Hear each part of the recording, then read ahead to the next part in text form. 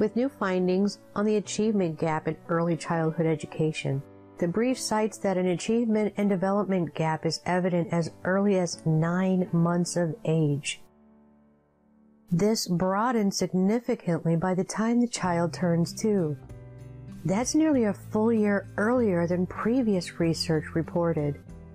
Cross disciplinary knowledge documents the importance of early childhood in bridging that gap. Current research identifies another disparity among professionals as to how best build that bridge. Research has documented that children are advancing into primary school without the skills they need to succeed.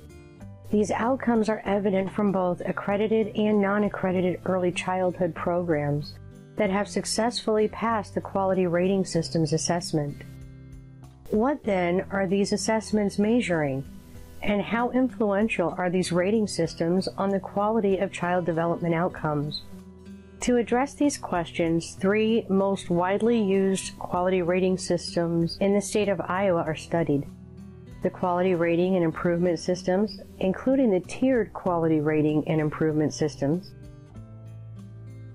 Family Child Care Environmental Rating Scale revised, and the Early Childhood Environmental Rating Scale 3. The purpose of this project is to explore the impact of quality rating and improvement systems have on child development outcomes such as school readiness. Child care centers are more likely to complete quality rating and improvement systems assessments. Most states require child care centers to be licensed and registered with the state. Several center programs will complete and achieve national accreditation status as well.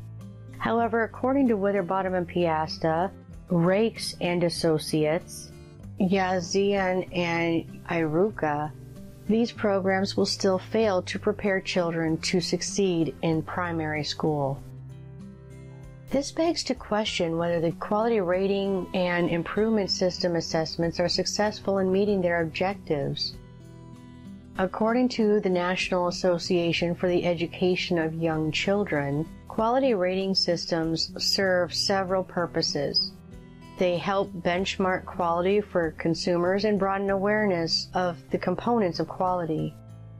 They provide additional incentives and resources to programs and they create stronger infrastructure to support and sustain the quality of program regardless of the setting.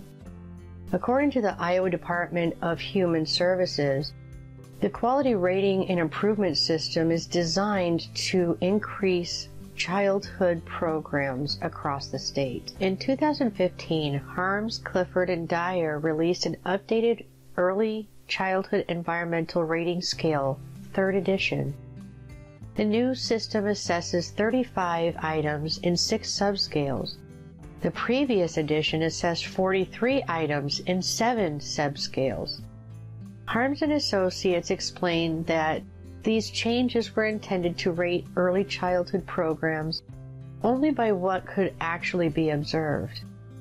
The Early Childhood Environmental Rating Scale 3 no longer assesses the quality of interactions during greeting and departing times or nap times for early childhood programs because they are not directly observed. This raises concern as research has linked the importance of quality relationships and interactions in early childhood to positive and negative outcomes in adolescence and adulthood. Moffitt and Associates found that a child's dangerous choices in adolescence could be predicted by the child's inability to regulate themselves in early childhood. Such negative behaviors and negative emotions produce a constant stream of negative stress on a child. Werner discussed multinational longitudinal studies on resilience in children, noting the effects of toxic stress on child development throughout adulthood. Werner concludes that resilience skills impact the whole child with influences on all domains of child development. Hall and Associates discovered a strong correlation between negative behaviors in children and nap time routines with 1 to 3 year olds. the researchers identified the caregiver's practices as central to the child's ability or inability to self soothe. Greetings and departure times are primary sources of interaction between the parent and caregiver. The exchange of information during these times could greatly impact the child's development either positively or negatively. Hall and colleagues suggest using this time to exchange in meaningful dialogue to best understand the child and provide a continuity of care between home and school. Boller and Associates conducted a study for a pilot quality rating and improvement systems called Seeds to Success. Interestingly, the researchers found that quality ratings and improvement systems not only vary considerably between state and local contexts, but also tallied 36 different variations of quality rating and improvement systems in their focus state. This particular quality rating systems pilot, the Seeds to Success, only measured two quality standards curriculum and learning environment, and professional development and training. It made no attempt to assess the impact of quality rating and improvement systems on childhood outcomes. This study did provide an in depth look at the quality rating and improvement systems and documented a lack of continuity within the system. Boller and Associates discussed environmental rating systems at length as part of the quality rating and improvement systems. Recent research is drawing focus away from program accreditation and state registration. An increasing amount of research shows strong correlation between provider training and education and high quality program practices. Winterbottom and Piasta may be the first to study the correlation between accreditation of child care programs and school readiness outcomes.